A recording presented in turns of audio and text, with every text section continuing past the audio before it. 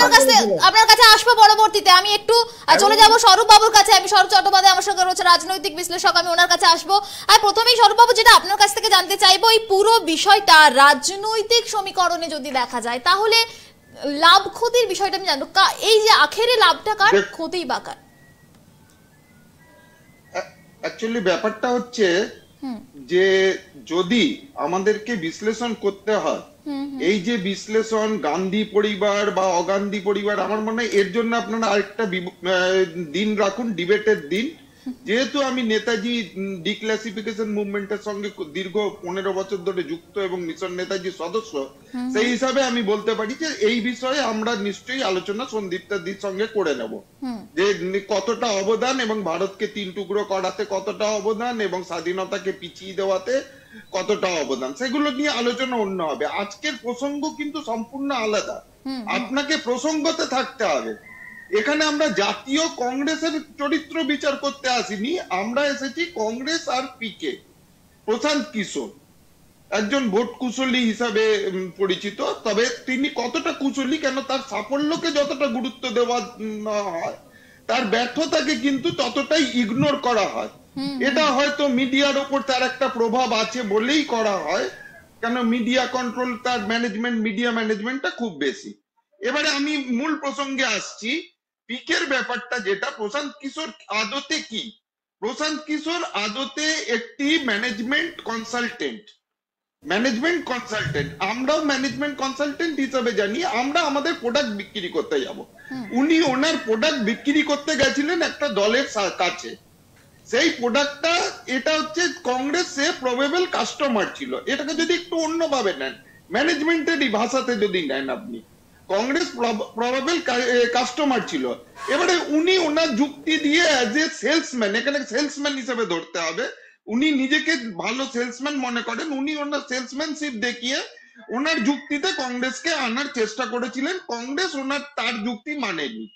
সেটা এখন দুপক্ষ কেন মানেনি, কি করেনি, সেটা তাদের পার্সোনাল ব্যাপার। এবারে এবারে আমি আসছি যে আপনি শুরু করেছিলেন একটি আমি তুই না ম্যাডাম আপনাকে একটু সংশোধন করেছি যে পিকে টুইট করে জানিয়েছিল। কিন্তু পিকে টুইটটা করেছিল চারটে বেজে পাঁচ মিনিটে। কিন্তু তার আগে কংগ্রেসের মুখপাত্র রণদীপ সিং তিনটে একচল্লিশের সময় যথেষ্ট ভদ্র এবং বিনয়ী টুইট করেছিলেন। বিনয়ী টুইট করেছিলেন এবং তার প্রত্যুত্তরে চারটে পাঁচ মিনিটে পিকে পিকে একটি টুইট করে জানিয়েছিলেন এবং তাতে তিনি নিজের হ্যাঁ নিজের নিজের কিছুটা অ্যারোগেন্সিও প্রকাশ করেছিলেন পরামর্শ দিয়েছিলেন টুইটে যেটা আমি মনে করি যে আমি যদি একজন ফেল সেলসম্যান হই আমার প্রোডাক্ট বিক্রি হলো না বলে আমি কাস্টমারকে চারটে পরামর্শ দিয়ে আসব সেটা করা উচিত নয়। আর দ্বিতীয় কথা হচ্ছে কি প্রশান্ত কিশোর নিজে একজন সুট পলিটিশিয়ান উনি বিভিন্ন ভাবে আপনি যদি দেখেন দু অনেকে বলে থাকে দু হাজার চোদ্দতে বিজেপির সাফল্য। তখন কিন্তু বিজেপিতে উনি অফিসিয়ালি কোনো ভাবেই যুক্ত ছিলেন না। পরে উনি অন্য বিভিন্ন মাধ্যম দিয়ে বলানোর চেষ্টা করিয়েছেন। সাফল্যটা ধরে রাখতে এবং সেইটা মার্কেটিং করে সেটা মার্কেটিং করে পরে উনি নীতিশ কুমারের কাছে ধরেছে তারপর তৃণমূল সমাজবাদী পার্টি আপ। এবারে প্রশ্নটা আসছে কি জানেন তো? যে কংগ্রেসের মতো দল কংগ্রেসের সঙ্গে যদিও উনি কিছুদিন কাজ করেছেন কংগ্রেসের মতো একটি বৃহৎ দল বা বিজেপির মতো যদি একটি বৃহৎ দলের সঙ্গে একটা বড় দলের সঙ্গে আপনি যদি প্রাইভেট লিমিটেড দলগুলোর তুলনা করেন যেমন তৃণমূল কংগ্রেস আপ বা টিআরএস বা সমাজবাদী পার্টি যে এইগুলোর তুলনা করেন তাহলে এখানে বেসিক ডিফারেন্স থেকে যাচ্ছে। এখানে বেসিক ডিফারেন্সটা থাকছে। পিকে যেটা চান যে সম্পূর্ণ কন্ট্রোল এবারে সম্পূর্ণ কন্ট্রোলটা কখন আসবে? সম্পূর্ণ কন্ট্রোল আসতে গেলে তাদের লক্ষ লক্ষ কর্মী তাদের কর্মী সংখ্যা আজকে যেমন ভারতীয় জনতা পার্টি বিশ্বের সবচেয়ে বড় পলিটিক্যাল পার্টি সেরকম কংগ্রেসও বিশ্বের সবচেয়ে বড় না হলেও দু তিন নম্বরে থাকবে এবং তাদের একটা ঐতিহ্য আছে। তো এইবারে এই যে বৃহৎ দলের সঙ্গে ছোট দলের যেমন কর্তৃত্ব নেওয়াটা সোজা এখানে ছোট দলের কর্তৃত্ব নিতে গিয়েও উনি কি করেছেন? যে সব দায়িত্ব ওনাকে ছেড়ে দিতে হবে। ব্লক স্তরে গেছে ব্লক স্তরে তৃণমূল কর্মীরাও ইয়ে করেছেন যে তাদের কাছ থেকে নেতার জন্য পিকের লোকেরা পয়সা চেয়েছে বা কিছু করেছে এরকমও মাঝে এই নিয়েও অনেক হয়েছিল। তো এবারে আমি ভাস্কর বাবু যথেষ্ট অনেক ভালো কথাই বলেছিলেন শুরু করেছিলেন। উনি কিন্তু শেষের দিকে পিকের ওই ওকালতি উনি করলেন যেটা দেখে আমার আমার মনে হয় যে পলিটিক্যাল পার্টিকে পিকের একটা এজেন্সির সঙ্গে একটা সেলসম্যানের থেকে আলাদা রাখাটা ভালো উচিত। যেটা আমি তিনটে পলিটিক্যাল মুখপাত্রের সঙ্গেই পলিটিক্যাল যিনি আছেন সন্দীপা দি এবং আলী হোসেন বাবু এবং ভাস্কর দা তিনজনকেই আমি এটা অনুরোধ করব যে পিকে কে ডিফেন্ড করার জন্য বা অপোজ করার জন্য আমরা আসিনি। আমরা এসছি যে কংগ্রেস আর পিকের প্রসঙ্গটা কেন হলো কেন হলো না। এবারে আমি যে সফল অসফল বললাম উনি বেঙ্গলে যদি সফল হয়ে থাকেন উনি গোয়াতে চূড়ান্ত অসফল। উনি কংগ্রেসের প্রিয়াঙ্কা গান্ধী যে অনুরোধে কিছু আহ, ইয়ে অ্যাসাইনমেন্ট নিয়েছিলেন সেখানে চূড়ান্ত অসফল। সমাজবাদী পার্টির সঙ্গে ইউপিতে চূড়ান্ত অসফল। উনি আপের সঙ্গে আবার সফল হয়েছেন পাঞ্জাবে। কিন্তু বাকি জায়গায় নয় আপের সঙ্গে সফল হয়েছেন। এবারে একটি আলোচনা চলছে। দেখুন একটি দলের সঙ্গে আলোচনা চলছে। তার মাঝখানে যদি চলে যায় ওনার আইপ্যাক যদি চুক্তি করে টিআরএস এর মতো দলের সঙ্গে তো ন্যাচারালি তাদের খারাপ লাগতে পারে বা ওনারও এটা নৈতিকভাবে সেটা একটা দায়িত্ব। এবারে উনি হঠাৎ ঘোষণা করলেন তৃণমূল ছাড়ছেন। এটাও ঘোষণা করে টুইট করেছিলেন। সেই টুইটের স্ক্রিনশটও যদি ভাস্কর বাবু চান তো আমি দিয়ে দেবো। যে তৃণমূলের সঙ্গে সব সম্পর্ক চুকে গেল।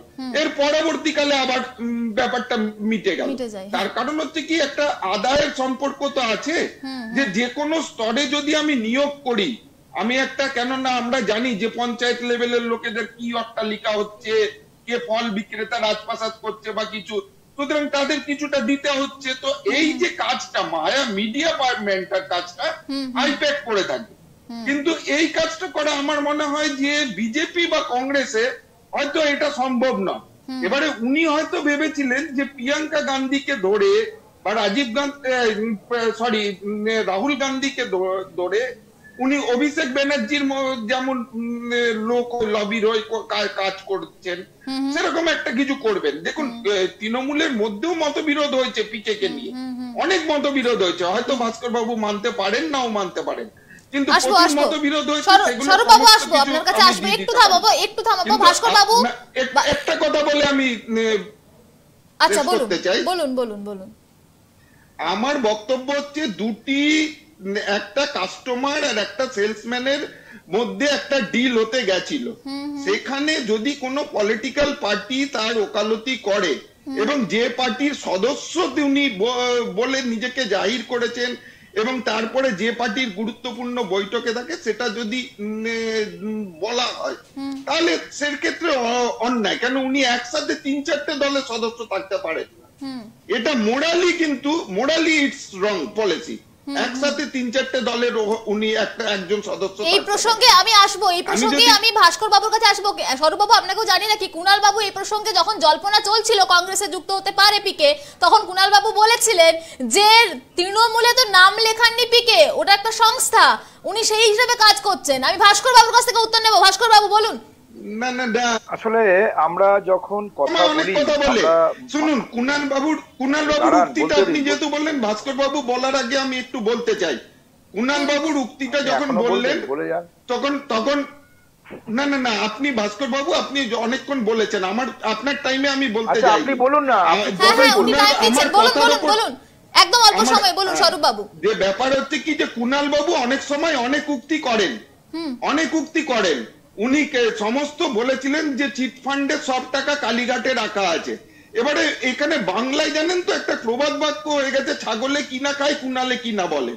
তো এবারে কুনাল বাবুর কথা কি বললেন, না বললেন, অথচ পিকে অফিসিয়ালি তৃণমূলে জয়েন করেছেন, তার প্রমাণ আছে, তার সমস্ত কিছু টুইট আছে, তাদের সমস্ত কিছু আছে।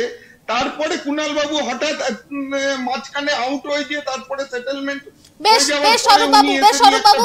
হ্যাঁ বেশ বেশ আমি আসব ভাস্কর বাবুর কাছে ভাস্কর বাবু বলুন বলুন ছাগলে কিনা খায় কুনালে কিনা বলে?